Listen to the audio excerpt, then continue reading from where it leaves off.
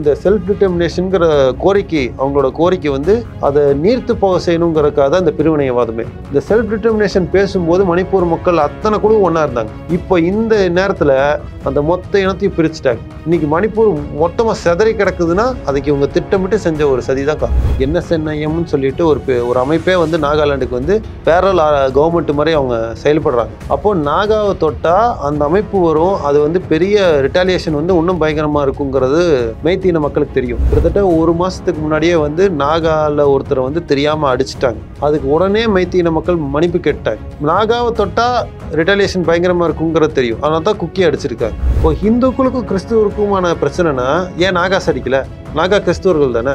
அப்போ மதத்தின் பேரில் இருக்குதுன்னா குக்கி மட்டும் தானே திருப்பி அடிக்கிறாங்க. ஏன் நாகாஸ் அதுக்கு சண்டைக்கு திரும்பி வரல? ரிட்டாலியேட் பண்ணல? இனக்கலவரமாக தான் இது இருக்குது. இதை வந்து வேணும்னே வந்து பாஜக அரசு திட்டமிட்டு இந்துக்களோட வீட்டை எரிச்சிட்டாங்க கிறிஸ்தவர்கள். கிறிஸ்தவர்களை வந்து ஒரு பயங்கரவாதிகளாக காட்டணுங்கிறதுக்கான ஒரு திட்டமிட்ட ஒரு செயல் தான் இது குக்கீன மக்களை குக்கி ஜோம்பாங்க இந்த ஜோங்கிறது பார்த்தீங்கன்னா மிசோ. இந்த மிசோவில் இருக்கிற மக்களும் குக்கீன மக்களும் கிட்டத்தட்ட ஒரே மக்கள் தான் அதனால வந்து இந்த மிசோ மக்கள் வந்து குக்கீஸுக்கு சப்போர்ட்டிவாக கொடுக்குறாங்க. இப்போ இங்கே நாகாஸ் அடித்தாங்கன்னா நாகாலாந்து சப்போர்ட்டுக்கு வரும். அதனால் மற்ற மாநிலங்களுக்கு பரவக்கூடிய சூழ்நிலை இல்லை.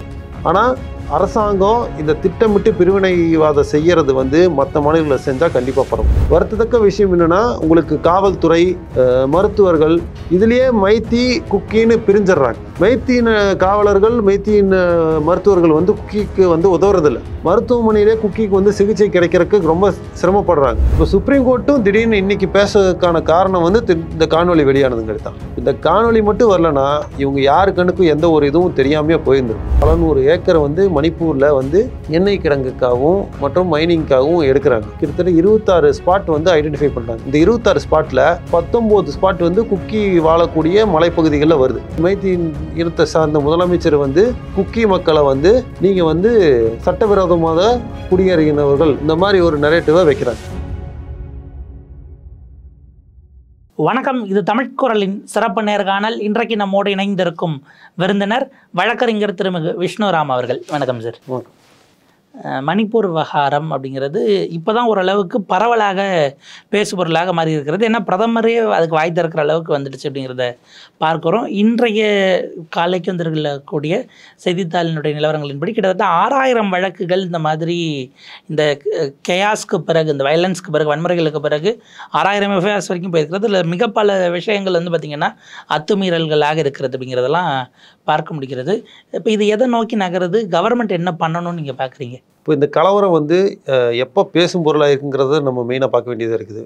இப்போது பிரதமர் வந்து 75 நாட்களாக இருக்குது இது பேசுகிறதுக்கு 75 நாட்கள் என்ன பண்ணாங்க? மத்திய அரசும் மாநில அரசும் என்ன பண்ணாங்கிறது நம்ம பெரிய கேள்விக்குறியாக இருக்குது இந்த கலவரம் வந்து வெறும் இன இணைக்குள்ளே வந்து நடந்த இனப்பிரிவித பிரிவிதைவாதமாக நம்ம பார்க்க முடியாது. இது வந்து திட்டமிட்ட ஒரு கலவரமாக தான் நம்ம பார்க்கணும். இப்போது அந்த மெய்த்திக்கும் குக்கிக்கும் ந இடையில நடக்கிற கலவரம் தான் நம்ம பார்க்குறோம். அது எப்படி கலவரம் தூண்டப்பட்டது? இது வந்து ஆர்எஸ்எஸ் வந்து திட்டமிட்டு ரொம்ப நா காலமாக இதில் வேலை செஞ்சுருக்கிறாங்க. இப்போ மெய்த்திக்குள்ளே வந்து பார்த்திங்கன்னா மெய்த்தி லிப்பூன் அப்புறம் அரம்பாய் தங்கோலுங்கிற ரெண்டு அமைப்பு வந்து பார்த்திங்கன்னா மெய்த்தி இனத்திலிருந்து ஆர்எஸ்எஸ் வந்து பேக் ஆகி வே- வேலை செஞ்சுருக்கிறாங்க. இந்த ரெண்டு அமைப்புக்கும் பார்த்திங்கன்னா முதலமைச்சரே வந்து பின்னாடி இருந்து சப்போர்ட் பண்ணியிருக்கிறார். அதுபோக கொஞ்ச நாட்களாக வந்து முதலமைச்சர் வந்து குக்கி இன மக்களை வந்து இல்லீகல் இமிகிரன்ஸ் அதாவது சட்டவிரோதமான குடியிருப்புகள் கு- குடியிருப்பவர்கள்னு அது போக ட்ரக் பெட்லர்ஸ் போதைப் பொருட்களை விற்கிறவங்க அப்படிங்கிற மாதிரி சொல்லிக்கிறாங்க இப்போ கிட்டத்தட்ட இதை வந்து நார்கோ டெரரிசம்ங்கிற மாதிரி இந்த ஸ்டேஜ் எடுத்துகிட்டு போகிறாங்க இப்போ இந்த ஸ்டேஜ் எடுத்துகிட்டு போகும்போது குக்கீன மக்களை வந்து வெறுப்புக்கு உண்டாக்குறாரு அப்போது இந்த மைத்தீன மக்கள் வந்து குக்கீன மக்களுக்கு மேலே உங்களை வந்து ஏவி விடுறதுக்கு என்ன பண்ணுறாங்க எஸ்டி ஸ்டேட்டஸுங்கிற ஒரு இதை கொண்டு வராங்க. இந்த எஸ்டி ஸ்டேட்டஸ் வந்து வந்து வெறுமனே இடஒதுக்கீடு இந்த பார்வையில் மட்டும் நம்ம பார்க்க முடியாது. இந்த எஸ்டி ஸ்டேட்டஸுக்கு பின்னாடி நிறைய அரசியல் இருக்குது. இந்த எஸ்டி ஸ்டேட்டஸ்க்கு பின்னாடி பார்த்தீங்கன்னா குக்கீன மக்கள் வந்து பெரும்பாலும் நில உ- உ- உரிமையாளர்களாக இருக்கிறாங்க. நிலப்பரப்பளவு வந்து குக்கீன மக்கள்கிட்ட அதிகமாக இருக்குது மெய்த்தின மக்கள் பெரும்பாலும் வந்து இம்ஃபாலுங்கிற வேலையில் தான் அதிகமாக இருக்காங்க. இப்போது இம்ஃபாலுங்கிறது இடத்துல வந்து பார்த்திங்கன்னா குக்கீன மக்கள் அஹ், மக்கள் அது போக நாகா அதுக்கப்புறம் பங்கலுங்கிற மக்கள் இருக்கிறாங்க. இப்போ மொத்த நிரப்பளவில் பார்த்திங்கன்னா பதினாறு மாவட்டம் இருக்குது மை மணிப்பூரில். இந்த பதினாறு மாவட்டங்களில் முதல்ல ஒம்பது மாவட்டங்கள் வந்து முன்னாடியே இருந்தே இருக்குது. இரண்டாயிரத்தி பதினேழில் ஒம்போ ஆறு மாவட்டம் ஏழு மாவட்டங்கள் கூடுதலாக சேர்க்கப்பட்டு பதினாறு மாவட்டங்கள் இருக்குது ஆனால் இந்த பதினாறு மாவட்டங்கள்லேயும் மாநகராட்சி மற்றும் நிர்வாக வசதிகள் எதுவுமே கிடையாது. எல்லா நிர்வாக அலுவலகங்களும் இம்ஃபாலியாக கொண்டு போய் உங்களுக்கு தலைநகரத்தில் வச்சுருக்காங்க. இப்போது இந்த ஃபிட்ஸோலுங்கிற ஒரு கிராமம் மா மாவட்டம்லாம் இருக்குது இந்த ஃபிட்ஸோலுங்கிற மாவட்டம்லாம் பார்த்தீங்கன்னா கிட்டத்தட்ட இம்ஃபாலேருந்து முந்நூறு கிலோமீட்டர் தொலைவில் இருக்குது ஆனால் ஒரு எந்த ஒரு அதிகார அமைப்பு அலுவலகமும் அங்கே கிடையாது. ஒரு பிறப்பிறப்பு சான்றிதழ் வாங்கணும்னா கூட அந்த மாவட்டத்தில் இருக்கிற மக்கள் வந்து இம்ஃபாலுக்கு முந்நூறு கிலோமீட்டர் வரணும். அப்போ ஒரு வந்துட்டு போகிறக்கு ஒரு நாள் போகிறக்கு ஒரு நாள் உங்களுக்கு இருந்து உங்களுக்கு இந்த சான்றிதழ்லாம் வாங்குறக்கு ஒரு நாள்னு கிட்டத்தட்ட மூணு நாட்கள் ஆகுது. இப்போ சாதாரணமாக ஒரு மக்கள் எப்படி வந்து அந்த இதை வந்து நம்ம ஏறு ஏற்றுக்க முடியும்? அதே மாதிரி பார்த்திங்கன்னா பள்ளிக்கூடம் இல்லை ஒரு பல்கலைக்கழகம் எதுவுமே வந்து கிடையாது. கிட்டத்தட்ட உங்களுக்கு எல்லா ஆட்சி அதிகாரமும் இம்ஃபால்லேயே இருக்குது ஏன் இம்ஃபால்லேயே இருக்குன்னா மெய்த்தீன மக்கள் பூரா இம்ஃபாலில் இருக்கிறாங்க. அவங்க முழுவதும் அவங்க ஆட்சி அதிகாரம் பூரா இம்ஃபால் இருக்கணுங்கிறதுக்காக அங்கேயே செய்யப்பட்டிருக்கு. இப்போ புதுசாக எஸ்இசெட் கொண்டு வந்திருக்காங்க. ஸ்பெஷல் எக்கனாமிக் ஜோன் கொண்டு வந்திருக்காங்க. இந்த ஸ்பெஷல் எக்கனாமிக் ஜோன் முக்கால்வாசி எல்லா மாவட்டத்திலும் எல்லா மாநிலத்திலையும் பார்த்தீங்கன்னா கிராமப்புறத்தை நோக்கி தான் வைப்பாங்க. ஏன்னா கிராமப்புற வேலைவாய்ப்பு இதெல்லாம் நோக்கி அந்த பார்வையில் தான் வந்து எல்லா அரசாங்கமும் செய்யும். ஆனால் மணிப்பூரில் பார்த்தீங்கன்னா எஸ்இசெட்டுங்கிறது சிட்டியோட சென்டர் இம்ஃபாலில் ஹைகோர்ட்டுக்கு ஒட்டி இரநூறு ஏக்கர் ஆக்கிரமித்து எடுத்து செய்கிறாங்க இந்த மாதிரி ஒரு இதுதான் சி- நில நிலைமை தான் வந்து மணிப்பூரில் இருக்குது இப்போது இந்த இதில் நில உடைமைகள் வந்து முக்கால்வாசி குக்கீன மக்கள்கிட்ட இருக்கிறதுனால அந்த குக்கீன மக்களுக்கு வந்து கிட்டத்தட்ட அந்த மலையை வந்து ரிசர்வ்டு சைட்டாக மாற்றுறாங்க அந்த ரிசர்வ்டு சைட்டாக மாற்றும் போது மைத்தின மக்களுக்கு நிலம் வாங்குறதுக்காக எஸ்டி ஸ்டேட்டஸ் கொடுக்குறாங்க. இதுதான் இதுக்கு பின்னாடி இருக்கிற பிரச்சனை. இப்போ எனக்கு ஒரு கேள்வி வருது இந்த இடத்துல. அவங்க ஏற்கனவே எஸ்டி ஸ்டேட்டஸில் இருக்கக்கூடியவர்கள் அவங்கக்கிட்ட நில உடைமையும் இருக்குன்னும் பொழுது அவங்கள இல்லீகல் மைக்ரன்ஸ்ன்னு சொல்கிறது அப்படிங்கிறது இப்படி எடுபடுதுன்னு ஒரு கேள்வி வரும்ல லாஜிக்காக பார்த்தோம்னா. ஆ அதுக்கு பின்னாடி என்ன இருக்குன்னு பார்த்தீங்கன்னா இந்த ரெண்டாயிரத்தி பதினாலில் பாஜக அரசு ஆட்சிக்கு வந்ததுக்கப்புறம் அதானி மற்றும் பல பன்னாட்டு நிறுவனங்கள் கூட வந்து கையெழு கையொப்பமிடுறாங்க. அதில் வந்து கிட்டத்தட்ட பல ஆயிரம் ஏக்கர் பல நூறு ஏக்கர் வந்து மணிப்பூரில் வந்து அவங்க வந்து இது எண்ணெய் கிடங்குக்காகவும் மற்றும் மைனிங்க்காகவும் எடுக்கிறாங்க. இப்போது இந்த இதுக்காக வரக்கூடிய நிறுவனங்கள் முக்கால்வாசி வந்து கிட்டத்தட்ட இருபத்தாறு ஸ்பாட் வந்து ஐடென்டிஃபை பண்ணுறாங்க இந்த இருபத்தாறு ஸ்பாட்டில் பதினா பத்தொம்போது ஸ்பாட் வந்து குக்கி வாழக்கூடிய மலைப்பகுதிகளில் வருது. இதை வந்து குக்கி மக்கள் வந்து இதை விடுறதில்ல. இதை வந்து அவங்க அனுமதிக்கிறதில்ல. அவங்க வெளியேறணும்னு பார்க்குறாங்க. அதனால் வந்து முதலமைச்சர் மைத்தி இனத்தை சார்ந்த முதலமைச்சர் வந்து குக்கி மக்களை வந்து நீங்கள் வந்து சட்டவிரோதமாக குடியேறினவர்கள் இந்த மாதிரி ஒரு நரேட்டிவை வைக்கிறாங்க. இதுதான் இதுக்கு பின்னாடி உள்ள அரசியல். இப்போ இதற்கு பிறகும் இந்த பிரச்சனை அப்படிங்கிறது முடிவதற்கான சூழலை நோக்கி போகுது. ஏன்னா இன்னைக்கு மிசோரமில் சொல்லியிருக்கிறாங்க ஃபார்மர் மிலிட்டன் குரூப்ஸாக இருந்தவங்க மெய்தீக்கள் இங்கே இருக்க வேண்டாம். நீங்கள் எங்கள் மாநிலத்தை விட்டு வெளியேறுங்க அப்படிங்கிற லெவலுக்கு வந்துருச்சு அப்படின்னா ஐசோலேட் ஆகுறாங்க அப்படிங்கிற ஒரு இடத்தை நோக்கி இதை நகருது அப்போ இதை அடுத்து செவன் சிஸ்டர் ஸ்டேட்ஸ்க்கும் பரவறதுக்கான வாய்ப்புகள் தானே இருக்குது இல்லை செவன் சிஸ்டர் ஸ்டேட்ஸுக்கு பரவறதுக்கான வாய்ப்புகள் வந்து பார்த்திங்கன்னா ரொம்ப குறைவு. இப்போது நீங்கள் மொத்த வடகிழக்கு மாநிலங்களும் பார்த்தீங்கன்னா இப்போது மிசோக்கும் குக்கிக்கும் உள்ள ஒரு ஒற்றுமை இருக்குது மிசோங்கிறது குக்கி ஜோங்கிறாங்க இந்த குக்கியின மக்களை குக்கி ஜோம்பாங்க அந்த ஜோங்கிறது பார்த்தீங்கன்னா மிசோ. அதுதான். இந்த மிசோவில் இருக்கிற மக்களும் குக்கியின மக்களும் கிட்டத்தட்ட ஒரே மக்கள் தான் அது வந்து இந்த மாநில பிரிவினால வந்து அதில் மிசோவில் இருக்கிற ஒரு சில மக்கள் இங்கே வந்துட்டாங்க. அவங்க குக்கியாக இருக்கிறாங்க. அதே மாதிரி நாகாலாண்டில் இருக்கிற மக்கள் ஒரு சில நாகாஸ் வந்து மணிப்பூரில் இருக்கிறாங்க. இந்த மணிப்பூரி நாகாஸ்ன்னு அவங்க பிரிக்கப்படுறாங்க. இந்த மாதிரி தான் மூணு ப பிரிவினை இருக்குது அதுபோக மெய்த்தீஸுங்கிறவங்க வந்து சமவெளியில் வாழக்கூடிய மக்கள். அந்த சமவெளியில் வாழக்கூடிய மக்கள் இவங்க இருக்கிறாங்க. அதனால் வந்து இந்த மிசோ மக்கள் வந்து குக்கீஸுக்கு சப்போர்ட்டிவாக கொடுக்குறாங்க. இப்போ இங்கே நாகாஸ் அடிச்சாங்கன்னா நாகாலாந்து சப்போர்ட்டுக்கு வரும். அதை அந்த இதுதான் நடக்குது. அந்த ஃப்ராக்ஷன் தான் நடக்குது. அதனால் மற்ற மாநிலங்களுக்கு பரவக்கூடிய சூழ்நிலை இல்லை. ஆனால் அரசாங்கம் இந்த திட்டமிட்டு பிரிவினைவாதம் செய்கிறது வந்து மற்ற மாநிலங்களில் செஞ்சால் கண்டிப்பாக பரவும். இப்போ லூட் பண்ணப்பட்ட ஆர்மனிஸ் எல்லாம் திரும்ப வரவே இல்லை. கிட்டத்தட்ட இருபது பர்சன்ட் தான் அவங்களால இது வரைக்கும் டில் டேட்டுக்கு ரிட்ரை பண்ணப்பட்டிருக்கு அப்படிங்கிற டேட்டாஸ் இருக்கிறது.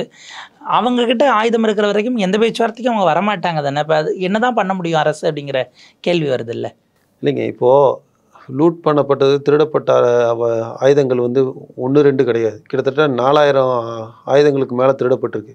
அது எப்படிங்க ஒரு போலீஸ் இதை தாண்டி அதிகாரத்தை தாண்டி அவ்வளோ இது திருடப்பட முடியும்? இந்த இரண்டு அமைப்புகளுக்கும் அரசாங்கமே திட்டமிட்டு பின்னாடி இருந்து உதவி இருக்கிறாங்க. அதுதான் இதுக்கான இதாக இருக்குது. அதனால தான் இன்னமும் பைரன் சிங் அரசு கலைக்கப்படலையா அப்படிங்கிற கேள்வி வருது இல்லையா? த்ரீ ஃபிஃப்டி ஃபைவ் இன்வாக் பண்ணி மொத்த அதிகாரத்தையும் எடுத்துட்டு கண்ட்ரோலுக்குள்ளே கொண்டு போகிறதுக்கு இவ்வளோ நாள் ஆகுது அப்படின்னா இன்னமும் அதுக்கான முயற்சிகளே எடுக்கலை அப்படின்னும்போது அது ஜஸ்டிஃபை ஆகுதா? முயற்சி எடுக்க மாட்டாங்க. ஏன்னா இது வந்து திட்டமிட்ட ஒரு கலவரம். அவங்களுக்கு இதுதான் தேவைப்படுது. அவங்க இதை தான் பார்க்குறாங்க. இதை தான் எதிர்பார்த்துட்ருக்குறாங்க இத்தனை நாளாக அதனால் அவங்க வந்து இதுக்காக பல வருஷம் வேலை செஞ்சுருக்காங்க. அதனால் அதை கண்ட்ரோல் பண்ணுறது எந்த விதத்துலையும் செய்ய மாட்டாங்க. இன்றைக்கி எல்லாம் பேசுகிறாங்கன்னா இந்த காணொலி வெளியானங்கிறது தான் பேசுகிறாங்க அப்படி பேசுகிறவங்க எழுபத்தஞ்சு நாட்கள் முன்னாடியே பேசியிருக்கணும். இந்த இரண்டு பெண்கள் முன்னாடியே வந்து வ வழக்கு கொடுத்துட்டாங்க. இன்றைக்கி வரைக்கும் நீங்கள் வந்து ஒன்று ஒரு இது செய்யலைன்னா கிட்டத்தட்ட நூற்றம்பது பேர் அதிகாரப்பூர்வமாக சொல்லக்கூடிய கணக்கு நூற்றம்பது பேருக்கு மேலே இருந்திருக்காங்கிறது. அதிகாரப்பூர்வமாக சொல்லாததுக்கு பின்னாடி எத்தனை பேர் இருந்திருக்காங்கிறது நமக்கு தெரியாது. இப்போ இத்தனை பேர் இறந்த போது நீங்கள் செய்யாததை நீங்கள் இன்னும் இப்போ மட்டும் உங்களுக்கு உறுத்துது. அப்போ காணொலி வெளியானால் தான் நீங்கள் வந்து பேசுவீங்களா? அப்போ இரண்டு பேர் வந்து வழக்கு கொடுக்குறாங்க. அதுக்கு வந்து பார்த்துட்டு எந்த ஆக்ஷனும் எடுக்கலை. அது வந்து ரூமருன்னு நீங்கள் வந்து நீங்கள் சொல்கிறீங்க இதில் இன்னொரு ரொம்ப ஒரு வருத்தத்தக்க விஷயம் என்னென்னா உங்களுக்கு காவல்துறை மருத்துவர்கள் இதுலேயே மைத்தி குக்கின்னு பிரிஞ்சிடுறாங்க. மைத்தின காவலர்கள் மைத்தியின் மருத்துவர்கள் வந்து குக்கிக்கு வந்து உதவுறதில்ல. மருத்துவமனையிலே குக்கிக்கு வந்து சிகிச்சை கிடைக்கிறதுக்கு ரொம்ப சிரமப்படுறாங்க. இந்த மாதிரி ரொம்ப இக்கட்டான சூழ்நிலை இருக்குது மணிப்பூரில். அதனால தான் இப்போது இருக்க இருக்க பிரிவினைவாதம் வந்து ரொம்ப ஊட்டப்படுது இப்போ அங்கே இருக்கக்கூடிய ரிலீஃப் கேம்ப்லலாம் வந்து பார்த்தீங்கன்னா குக்கிக்கு ரிலீஃப் கேம்ப் தனியாக இருக்குது மெய்த்திக்கு ரிலீஃப் கேம்ப் தனியாக இருக்குது குக்கியோட ரிலீஃப் கேம்பில் வந்து மெய்த்தி மக்கள்னால தான் நீங்கள் வந்து இங்கே வந்திருக்கீங்கிற மாதிரி தூண்டுதல் பேச்சு ஏற்படுது. குக்கி ரிலீஃப் மெய்த்தி ரிலீஃப் கேம்பில் குக்கியின மக்கள் உங்களை கொண்டங்காடி தான் நீங்கள் இங்கே வந்திருக்கீங்கிற மாதிரி வெறுப்புணர்வு ஓட்டிகிட்டு இருக்கிறாங்க. அப்போ திரும்பவும் வந்து அவங்க வந்து கலவரத்துக்கு போகிறாங்க சண்டை போகிறாங்க அப்போது நீங்கள் ஆரம்பத்திலேயே மே அஞ்சாம் தேதியே நீங்கள் வந்து ஒரு ஐம்பது பேர்த்த நீங்கள் பிடிச்சி உள்ளே போட்டிருந்தீங்கன்னா கலவரம் இவ்வளோ தூரம் நீடிச்சிருக்காது. இப்போ நார்கோ டெரரிசம் அப்படிங்கிற ஆங்கிள் எடுத்துக்கிட்டாலும் சரி அதான் ட்ரக் பேட்லிங் அந்த விஷயங்களோ இல்லை இதற்கு பின்னாடி சீனா இருக்கிறது அப்படின்னு பல ஆங்கிள்ஸ் இன்றைக்கி சொல்கிறாங்க இல்லையா? இது எது கொண்டு வந்தாலுமே அப்போ இந்திய அரசு உளவுத்துறை தோற்று போய்விட்டதுங்கிற ஆங்கிள் வராது. அது அது அப்போ அக்செப்ட் அவங்களே பண்ணிக்கிறாங்கன்னு எடுக்கணுமா? இந்த நார்கோ டெரரிசம் வந்து அரசாங்கத்துக்கு தெரியாமல் எங்கேயும் வராது. இப்போ கொஞ்ச நாளைக்கு முன்னாடி சத்தியம் நியூஸ் தொலைக்காட்சி நிருபர் வந்து எப்படி அரசாங்கத்துக்குள்ளே கிட்டத்தட்ட அறுபதாயிரம் கோடி ரூபா மதிப்புள்ள அறுபதாயிரம் டன் மதிப்புள்ள ஹெராயின் வந்து கணக்கில் வராமல் காணப்ப காணாமல் போயிடுச்சுங்கிறத வந்து அவர் துல்லியமாக டாக்குமெண்டல் எவிடன்ஸோட பே பேசியிருந்தார். அவர் பேரும் கூட அரவிந்த் அக்ஷன். அரவிந்த் அக்ஷன். அவர் சொல்லியிருந்தார். இப்போது அரசாங்கத்துக்கு தெரியாமல் இங்கேருந்து வராது. அதானி போர்ட்லேருந்து வர அதிகமாக வரதான் கூட க சொல்கிறாங்க இந்த நார்கோ டெரரிசம் போக சைனா உள்ள வருதா நீங்கள் என்ன பார்த்துட்டு இருக்கிறீங்க? நீங்கள் இதுக்கு முன்னாடி காங்கிரஸ் அரசாங்கத்தை நீங்கள் பேசிட்டு இருந்தீங்களா? பாகிஸ்தானை கை காட்டிட்டு இருந்தீங்க. சைனா உள்ள வருதா நீங்கள் என்ன பண்ணிட்டு இருக்கிறீங்க? சைனா வந்து அருணாச்சல் பிரதேசில் நிறையா நில நிலத்தை எடுத்துட்டாங்கிறது பேசிட்டு இருந்தீங்க.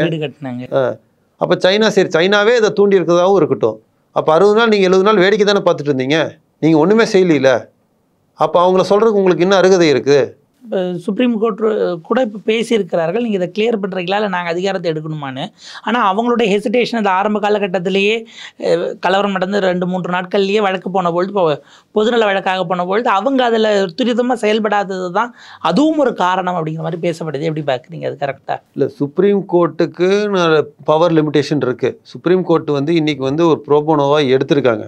அது அவங்க முன்னாடியே அந்த கேஸ் போன போதே வந்து டைரக்ஷன் வந்து கே- கேட்டிருக்காங்க. ஆனால் அந்த டைம் பீரியட் ரிப்போர்ட் கொடுக்க சொல்லிய பீரியடு வந்து ரொம்ப அதிகமாக இருந்திருக்கு. கிட்டத்தட்ட ஒரு நான்கு வாரத்துக்கு மே மேலே இழுத்துருச்சு.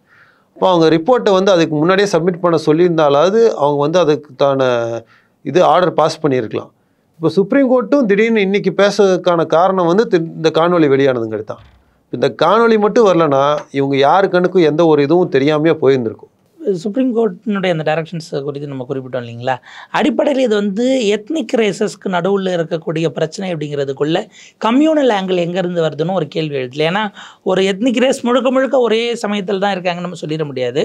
அப்போ அந்த கம்யூனல் ஆங்கிள் அந்த போலரைசேஷன் எப்படி வந்துச்சு அப்படின்னு ஒரு கேள்வி எழுதும்ல இல்லை கம்யூனல் ஆங்கிள் நீங்கள் பார்த்தீங்கன்னா நான் சொன்ன மாதிரி மூணு பிரிவினைகள். மெய்தீஸ் குக்கீஸ் நாகாஸ் குக்கீஸும் நாகாஸும் கிறிஸ்துவர்கள்.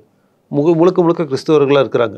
இந்த மெய்தீஸ் இன மக்களில் பார்த்தீங்கன்னா எல்லா மதமும் இருக்குது ஹிந்துக்கள் இருக்காங்க கிறிஸ்துவர்கள் இருக்காங்க இஸ்லாமியர்கள் இருக்காங்க பௌத்த மதத்தை சார்ந்தவங்க இருக்காங்க.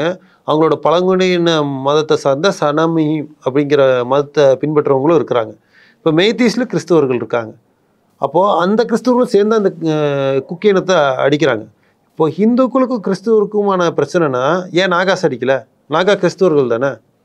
அப்போ மதத்தின் பேரில் இருக்குதுன்னா குக்கி மட்டும் தானே திருப்பி அடிக்கிறாங்க. ஏன் நாகாஸ் அதுக்கு சண்டைக்கு திரும்பி வரல ரிட்டாலியேட் பண்ணல? அப்போ இது வந்து கிட்டத்தட்ட இனக்குழு இன சண்டை தான் இனக்கலவரமாக தான் இது இருக்குது. இதை வந்து வேணும்னே வந்து பாஜக அரசு திட்டமிட்டு இந்துக்களோட வீட்டை எரிச்சிட்டாங்க கிறிஸ்தவர்கள். கிறிஸ்தவர்களை வந்து ஒரு ஒரு என்ன சொல்கிறது ஒரு பயங்கரவாத அமைப்பு மாதிரி காட்டணுங்கிற பயங்கரவாதிகளாக காட்டணுங்கிறதுக்கான ஒரு ஒரு திட்டமிட்ட ஒரு செயல் தான் இது. இப்போ நான் இதில் வந்து எப்படி புரிஞ்சுக்கிறதுனா நாகாவோட லேண்ட் ஹோல்டிங்கிறது ப்ரொபோர்ஷனேட்டாக கம்மிங்கிறதுனால அதை அவங்கள தாக்கலை அப்படிங்கிற மாதிரி புரிஞ்சுக்கலாமா. நாகாஸ் தாக்காததற்கு காரணம்.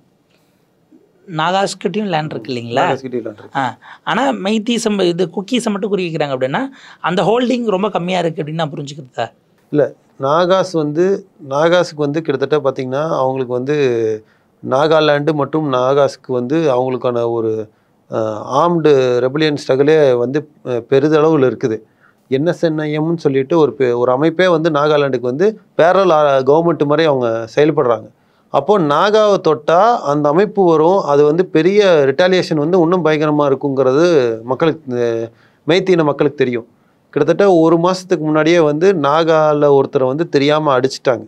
அதுக்கு உடனே மைத்தீன மக்கள் மன்னிப்பு கேட்டாங்க அப்போது நாகாவை தொட்டால் ரிட்டாலியேஷன் பயங்கரமாக இருக்குங்கிறது தெரியும். அதனால தான் குக்கி அடிச்சிருக்காங்க. இப்போ இந்த இவ்வளோ பெரிய விஷயம் நடந்திருக்கிறது இதுக்கு பின்னால் என்னுடைய கை இருக்கிறது என்ன? ஒரு ஸ்டேட் ஸ்பான்சர் பண்ணாமல் இவ்வளோ நாட்கள் எதையுமே எந்த ஒரு வன்முறையுமே நடத்தி விட முடியாது அப்படின்னா என்ன அல்டிமேட் கோல் என்ன? நிறைவாக அவங்க எங்கே போய் நிற்கணும்னு எதிர்பார்க்குறாங்க? அது ரெண்டாயிரத்தி இருபத்தி நாலுக்குள்ளே முடிச்சிட முடியும். வேகமாக துரிதப்படுத்தணும். ஆட்சி அதிகாரத்தில் இருக்கும் போதேன்னு பார்க்குறாங்கன்னா அந்த என்ன பர்பஸ் அப்படின்னு ஒரு கேள்வி வருது இல்லை அல்டிமேட் கோல் ஆமாம் இது வந்து பார்த்திங்கன்னா முழுக்க முழுக்க இந்த பன்னாட்டு நிறுவனங்கள் வந்து இந்த சுரங்கத்தை இது பண்ணுறதுக்கான ஒரு நோக்கம் தான் இதில் இருக்குது.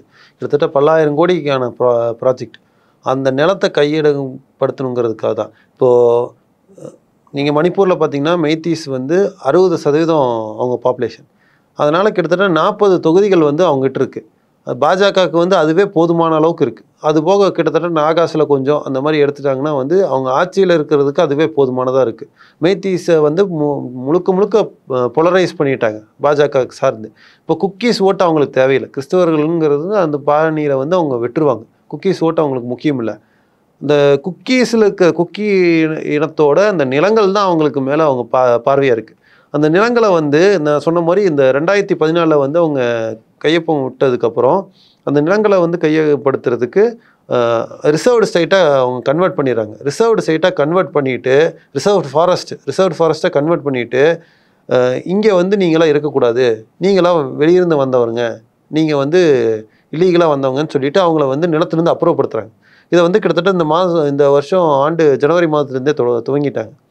இப்போ இதை பண்ணும்போது அதுக்கப்புறம் மெய்த்தீன மக்களுக்கும் அந்த நிலத்து மேலே உரிமை இருக்குது அந்த மாதிரி கேட்டால் ஏன்னா குக்கீன மக்கள் மட்டும் தான் போராடுறாங்க. இப்போது உங்களுக்கு மட்டும் இது உரிமை இல்லை அது மெய்த்தீன மக்களுக்கு உரிமை இருக்குங்கிறக்காக தான் இந்த எஸ்சி ஸ்டேட்டஸ் வழங்கி இதை டைல்யூட் பண்ணுறதுக்கான காரணமே. இந்த இதுதான் வந்து அவங்களுக்கு மொத்தமாக வந்து நிலம் தான் அவங்களோட தேவையாக இருக்குது. இன்னொரு முக்கியமான விஷயம் என்னென்னா மணிப்பூர் வந்து பார்த்திங்கன்னா மற்ற மாநிலம் மாதிரி ஒரு அமைதியான மாநிலம் இல்லை. மணிப்பூருக்கு வந்து நீண்ட நெடுங்காலமாக கிட்டத்தட்ட ஒரு எழுபது வருஷமாக வந்து அவங்க வந்து சுயாட்சியை வந்து கேட்டு அங்கே போராட்டம் கலவரம் எப்பயுமே நடந்துட்டுருக்கும் மணிப்பூரில் தான் வந்து பார்த்திங்கன்னா armed forces special powers act வந்து உச்சகட்டமாக இருந்த ஒரு மாநிலம். இப்போ இரவு ஷர்மிளா வந்து பதினேழு வருஷம் உண்ணாவிரதம் இருந்து உலகம் முழுக்க அது தெரிஞ்ச ஒரு மாநிலம். அங்கே வந்து பார்த்திங்கன்னா பெண்கள் வந்து நிர்வாணமாக போராடினது இராணுவம் வந்து வரம்பு மீறி மனித உயிரிழப்புகளில் ஏற்படுத்திய ஒரு மாநிலம்லாம் பார்த்திங்கன்னா மணிப்பூர் தான். கிட்டத்தட்ட பத்தாயிரம் பேர்த்துக்கு மேலே கொண்டு குமிச்சிருக்காங்க. இந்த வழக்கு இன்னும் சுப்ரீம் கோர்ட்டில் நிலுவையில் இருக்குது. உச்சநீதிமன்றம் வந்து இன்னும் வழ அதை வழக்கெடுத்து விசாரிக்காமல் இருக்குது. இப்போ இந்த கட் இந்த மாதிரி ஒரு மாநிலம் தான். இது எப்பயுமே வந்து மத்திய அரசாங்கம் யாராக இருந்தாலும் சரி காங்கிரஸாக இருந்தாலும் சரி பாஜகவாக இருந்தாலும் சரி யாராக இருந்தாலும் அது மத்திய அரசுக்கு வந்து அது வந்து ஒரு டென்ஷனை கொடுத்துட்டு இருந்தக்கூடிய ஒரு மாநிலம். இப்போ இந்த பிரச்சனைக்குரிய மாநிலத்தை வந்து இந்த செல்ஃப் டிட்டர்மினேஷனுங்கிற கோரிக்கை அவங்களோட கோரிக்கை வந்து அதை நீர்த்து போக செய்யணுங்கிறதுக்காக தான் இந்த பிரிவினைவாதமே. இந்த செல்ஃப் டிட்டர்மினேஷன் பேசும்போது மணிப்பூர் மக்கள் அத்தனை குழு ஒன்றா இருந்தாங்க. அத்தனை இனமும் ஒன்றா இருந்து குரல் கொடுத்த ஒரு மாநிலம் தான் மணிப்பூர். இப்போ இந்த நேரத்தில் அந்த மொத்த இனத்தையும் பிரிச்சுட்டாங்க. இப்போ யார் ஒன்று சேர முடியாத அளவுக்கு பாதிப்பை ஏற்படுத்திட்டாங்க. இன்றைக்கி மணிப்பூர் மொத்தமாக சிதறி கிடக்குதுன்னா அதுக்கு இவங்க திட்டமிட்டு செஞ்ச ஒரு சதி தான் காரணம். நீங்கள் செல்ஃப் டிட்டர்மினேஷன் குறிப்பிட்டதுனால கேட்குறேன் அதே அளவுக்கு தொடர்ந்து அது அப்படிப்பட்ட குரலை எழுப்பியது தமிழ்நாடும் கூட அப்படின்னும் பொழுது இப்போ இந்த மாடலில் அவங்க வெற்றிகரமாக இதில் செஞ்சுட்டாங்க அப்படின்னா அடுத்தடுத்து நகர்த்துவதற்கு மற்ற மாநிலங்களை நோக்கி போவதற்கான வாய்ப்பு இருக்கா அப்படிங்கிற ஒரு கேள்வி வரும்ல. ஆமாம் இந்த செல்ஃப் டிட்டர்மினேஷன் வந்து வெறும் மணிப்பூரில் மட்டும் இல்லை. இப்போ காஷ்மீரில் செஞ்சாங்க. த்ரீ செவன்ட்டி வந்து அப்ரே அப்ராகேட் பண்ணிவிட்டு அவங்க வந்து இன்றைக்கி வரைக்கும் ராணுவம் அவங்க இருக்குது அங்கே இயல்பு வாழ்க்கை கிடையாது. அந்த இயல்பு வாழ்க்கை முற்றிலும் பாதிக்கப்பட்டிருக்கு. கிட்டத்தட்ட இன்டர்நெட் இல்லாமல் கிட்டத்தட்ட ஆறு மாதமும் ஒரு வருஷமோ இருந்தாங்க மக்கள். அது எல்லோரும் யாரும் மறந்துருக்க முடியாது. இப்போது அந்த அளவுக்கு வந்து இவங்க வந்து ஒவ்வொரு மாநிலமாக நகர்றாங்க. இன்னைக்கு மணிப்பூர் நாளைக்கு நாகாலாந்து நடக்கும். அசாமில் நிறையா மாவட்டங்கள் இருக்குது அசாமில் நடக்கும். அடுத்து தமிழ்நாடை நோக்கி வருவாங்க. அப்போது இது வந்து ஒரு மாநிலத்தோட முடியாது. இந்த பிரிவினைவாத சக்தி வந்து எல்லா மாநிலத்தையும் போவாங்க. இங்கே எப்படி ஜாதி ரீதியாக மத ரீதியாக பிரிவினை ஏற்படுத்துகிறாங்க அங்கே அது மாதிரி இன ரீதியாக பிரிவினை ஏற்படுத்துகிறாங்க அதுதான் அவங்களோட இலக்காக இருக்குது கோர்ட் வந்து ஒரு எஸ்டி ஸ்டேட்டஸை கொடுக்கலாமா அப்படிங்கிற ஒரு கேள்வி இருக்குது அப்போ ப்ராப்ளி அதுக்கு வந்து இன்டர்மீடியேட்டராக இல்லை உள்ள ரெஸ்பாண்டண்ட்டாக ரெண்டு அரசுகளும் உள்ளே வந்திருக்கணும் எப்படி பார்த்தாலும். அப்போ ரெண்டு அரசுகளுமே அதுக்கு ஹெசிடேட் பண்ணல கொடுக்கறது எங்களுக்கு பிரச்சனை இல்லைன்னு சொல்கிறாங்களான்னு ஒரு கேள்வி வருது இல்லை. அப்படி சொல்லியிருக்காங்களா? கோர்ட்டு வந்து எஸ்டி ஸ்டேட்டஸ் கொடுக்க முடியாது. உங்களுக்கு வந்து எஸ்டி ஸ்டேட்டஸ் அவங்க கொடுக்கறதுக்கான அதிகாரம் உங்களுக்கு இல்லை. இதை வந்து சென்ட்ரல் கவர்மெண்ட் வந்து ஒரு கம்யூனிட்டி ஃபா கமிட்டி ஃபார்ம் பண்ணி அந்த கமிட்டி வந்து அந்த சோஷியல் ஆஸ்பெக்ட் இம்பேக்ட் அசஸ்மெண்ட் இதெல்லாம் ஸ்டடி பண்ணி அவங்க ரெக்கமெண்டேஷன் கொடுத்து ஷெடியூலில் கொண்டு வந்ததுக்கு அப்புறம் தான் அந்த ஸ்டேட்டஸே வழங்க முடியும். கோர்ட் வந்து கொடுக்குங்கிறது ரொம்ப வேடிக்கையான விஷயம். கோர்ட்டு கொடுக்கறதுக்கான காரணம் என்னென்னா இந்த கலவரத்தை தூண்டுறதுக்கு அவங்களுக்கு உடனடியாக ஒரு காரணம் தேவைப்பட்டிருக்கு. அந்த ஸ்டேட்டஸ் கொடுத்ததுக்கப்புறம் தான் குக்கின மக்கள் இந்த மாணவர் அமைப்பு சார்ந்து ஒரு பெரிய ஒரு எழுச்சி நடக்குது. அந்த பெரிய ஒரு போராட்டம் ஒரு நடைபயணம் மேற்கொள்கிறாங்க அதுக்கு அடுத்து தான் அந்த கலவரம் வெடிக்குது. அரசியல் ரீதியாக இப்போ வைக்கக்கூடிய கேள்வி அப்படின்னு பார்க்கும் பொழுது குடியரசுத் தலைவர் அவரே ஒரு ட்ரைபல் விமனாக இருக்கிறார். அது சார்ந்த விஷயங்கள்லாம் ஏன் வாய திறக்கல அப்படிங்கிறாங்க. அஃப்கோர்ஸ் அது அப்படி அவங்க பேசினாலும் அது என்ன இம்பேக்ட் ஏற்படுத்துன்னு ஒரு கேள்வி இருக்குது ஆனால் அவருடைய மௌனம் என்பது விமர்சனத்தை பெறதை எப்படி பார்க்குறீங்க? இல்லை இது கிட்டத்தட்ட ரெண்டு மூணு நாட்கள் எல்லாரும் பேசக்கூடிய விஷயந்தான் ரெண்டாயிரத்தி இரண்டில் இவங்க வந்து இஸ்லாமியர்கள் இஸ்லாமியர்களை அழிக்கும்போது குஜராத் கலவரத்தில் இஸ்லாமியர்களை அழிக்கும்போது ஒரு குடியரசுத் தலைவராக இவங்க கொண்டு வந்து ஒரு இஸ்லாமியரை வச்சாங்க. அப்துல் கலாமை வந்து வச்சாங்க. அப்பயே அவர் பொம்மை மேலே தான் செயல்பட்டு இருந்தார். அவருக்கு வந்து வேறு எந்த அதிகாரமும் இல்லை. அவர் மட்டும் இல்லை குடியரசுத் தலைவராக யார் வந்தாலும் எந்த அதிகாரமும் கிடையாது. அவங்க வந்து எங்கேயாவது நிகழ்ச்சிக்கு போவாங்க. யாராவது வெளியுறவு வெளிநாட்டிலிருந்து ஏதோ தலைவர்கள் வந்தாங்கன்னா அவங்கள வாழ்த்தலாம் வணக்க வணக்கம் சொல்லலாம். இதுதான் அவங்களுடைய அதிகாரம் இருக்குது குடியரசுத் தலைவர்களாக இருக்கட்டும் ஆளுநராக இருக்கட்டும் அதிகாரங்கிறது அவங்களுக்கு அவ்வளோதான் அதுக்கப்புறம் ராம்நாத் கோவிந்த் நாங்கள் தான் முதல் முதல்ல தலித்தை வந்து குடியரசுத் தலைவர் ஆக்கிட்டோம் அப்படின்னு சொல்லிட்டு அவங்க வந்து பெருமைப்பட்டுக்கிட்டாங்க அந்த டைம் தான் ஏராளமான தலித்தை நோக்கிய தாழ்த்தப்பட்ட சமூகத்தை சார்ந்தவங்க நோக்கிய வன்கொடுமைகள் வந்து இந்தியா முழுக்க பரவலாக நடந்தது. கிட்டத்தட்ட இஸ்லாமியர்களுக்கும் தலித்துக்கும் நடந்த லிஞ்சிங் வந்து நார்த் இந்தியாவில் வந்து லிஞ்சிங்குன்னு கிட்டத்தட்ட ஒரு நூறு இரநூறு பேர். கும்பலாக கொண்டு போய் தாக்கி கும்பலாக தாக்கி உயிரிழப்பு செய்ய வைக்கிறது கொ கொல்றது இதன் இந்த மாதிரி குற்றங்கள் வந்து பயங்கர பரவலாக நடந்தது. ஏகப்பட்ட மாநிலங்கள் நடந்தது. அந்த மாதிரி லிஞ்சிங் பண்ண குழுவெல்லாம் வந்து ஒரு மத்திய அமைச்சரே கூப்பிட்டு பாராட்டி மாலையெல்லாம் போட்டாங்க. இந்த மாதிரி ஒரு கொடுமை வந்து ம ம- வட மாநிலத்தை முழுவதும் நடந்துச்சு.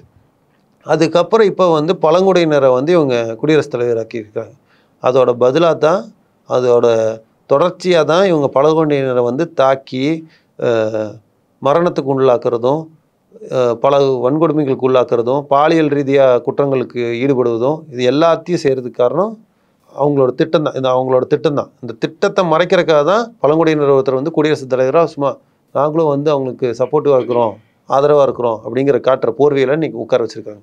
இதுக்கான சொல்யூஷன் அப்படிங்கிறது என்னவாக இருக்கும்னு நினைக்கிறீங்க? இப்போ இந்த கலவரத்தை பார்த்தீங்கன்னா இப்போது சொல்யூஷன் வந்து இப்போ உடனடியாக வந்து மக்களுக்கு வந்து நிவாரண இதில் இருக்கிறவங்க பார்த்தீங்கன்னா நிவாரண முகாம்கள் முகாம்களில் இருக்கிறவங்க பார்த்தீங்கன்னா கிட்டத்தட்ட அறுபதாயிரம் பேருன்னு வந்து இதில் கணக்கு சொல்கிறாங்க முந்நூற்றி நாற்பத்தொம்பது ரிலீஃப் கேம்ப் இருக்குன்னு சொல்லி கணக்கில் காட்டியிருக்கிறாங்க. இப்போ இந்த ரிலீஃப் கேம்பில் இருக்க இன்னும் அவங்களுக்கு அடிப்படை வசதிகளே இன்னும் போய் சேரல. அவங்களுக்கு அந்த அடிப்படை வசதிகள் கொண்டு போய் சேர்க்கணும். அதுக்கப்புறம் நீண்ட நெடிய ஒரு இது என்ன சொல்யூஷன் என்னன்னு பார்த்தீங்கன்னா டீசென்ட்ரலைசேஷன் ஆஃப் பவர் இந்த குக்கின மக்களுக்கு வந்து அவங்கவுங்க மாவட்டங்களில் அவங்களுக்கு பவரை வந்து கொடுக்கணும். அந்த டீசென்ட்ரலைசேஷன் ஆஃப் பவர் வந்து அவங்க ஒவ்வொரு மாவட்டத்துலேயும் அவங்களுக்கான அட்மினிஸ்ட்ரேஷன் ஆஃபீஸர்ஸ் uh, இதெல்லாம் கொண்டு போய் அவங்க இது பண்ணணும். தேவையான ஸ்கூல்ஸு காலேஜஸ்ஸு ஹாஸ்பிட்டல்ஸு எதுவுமே கிடையாது. இன்றைக்கி ஹாஸ்பிட்டல்ஸ் எல்லாமே இம்ஃபாலாக தான் இருக்குது. குக்கி வாழ்கிற இடத்துல வந்து கிட்டத்தட்ட ஒரு- ஒரு மெடிக்கல் கேம்ப் மாதிரி தான் போட்டிருக்காங்க. அவங்களுக்கு அறுவை சிகிச்சை பண்ணுறதுக்கோ இல்லை ஒரு பெரிய சிகிச்சை எமர்ஜென்சி சுச்சுவேஷனு இதுக்கான இன்டென்சிவ் கேரு இதை எதை எதை பற்றி எங்கேயுமே இதுக்கான ஃபெசிலிட்டி இல்லை. இது போக நிறையா கர்ப்பிணி பெண்கள் வந்து இந்த முகாமில் இருக்கிறாங்க. இந்த கர்ப்பிணி பெண்கள் கிட்டத்தட்ட இந்த இந்த கலவரம் இந்த ரெண்டு மாதத்துலேயே வந்து கிட்டத்தட்ட இருபது முப்பது குழந்தைகள் பிறந்திருக்காங்க இந்த முகாமில். இப்போது அடுத்து இன்னும் இப்போ நிறைய பேர் கர்ப்ப கர்ப்பமாக இருக்காங்கிறதும் சொல்லியிருக்கிறாங்க. இப்போ இவங்களுக்கான வந்து இவங்களுக்கான மெடிக்கல் ஃபெசிலிட்டியே இன்னும் இவங்க ஏற்பாடு செய்யலை. அதையெல்லாம் வந்து செய்யணும். இதெல்லாம் வந்து டெம்பரரி ரிலீஃப் அடுத்த கட்ட நடவடிக்கை அரசாங்கம் என்ன மேற்கொள்ளணும்னா இது பீஸ்டாக் நடத்தணும். இவங்க ஏற்கனவே பீஸ்டாக் நடத்துறதுக்கு ரெண்டு குழு நடத்த ஆரம்பிச்சாங்க. அது ஒன்றும் வெற்றிகரமாக செயல்படல.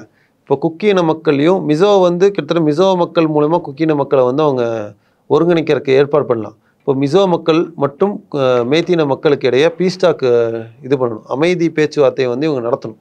அமைதி பேச்சுவார்த்தை நடத்தி இதை வந்து இந்த பிரச்சனையை வந்து சுமூகமாக இப்போது முடிக்கணும். அடுத்த வந்து அந்த டீசென்ட்ரலைசேஷன் ஆஃப் பவரை அவங்க வந்து இது பண்ணணும். ஒவ்வொரு மாவட்டத்திலையும் நிர்வாக வசதிகள் நிர்வாக அலுவலகங்கள் பள்ளிக்கூடம் மற்றும் கல்லூரிகள் மருத்துவமனைகள் இதெல்லாம் அவங்க வந்து ஒவ்வொரு மாவட்டத்திலையும் எஸ்டாப்ளிஷ் பண்ணணும். இது பண்ணது போக அந்த அதானி அம்பானி ப்ராஜெக்ட் அந்த பன்னாட்டு நிறுவனங்கள் வரக்கூடிய அந்த திட்டங்களை வந்து அவங்க கைவிடணும். தெளிவான பார்வைகள் விரிவான பல விளக்கங்கள். அடுத்த நாளில் எப்படி போகுது அப்படிங்கிறத நம்ம பார்க்கலாம். அமைதி திரும்ப வேண்டும் அப்படிங்கிறது எல்லாருடைய நோக்கமாகவும் இருக்கிறது. அதுக்கான வழிமுறைகள் அரசு என்ன செய்கிறது அப்படிங்கிறதெல்லாம் வரும் காலங்களில் நமக்கு தெரியும். உங்களுடைய நேரத்துக்கும் கருத்துக்களுக்கும் ரொம்ப நன்றி. நன்றி.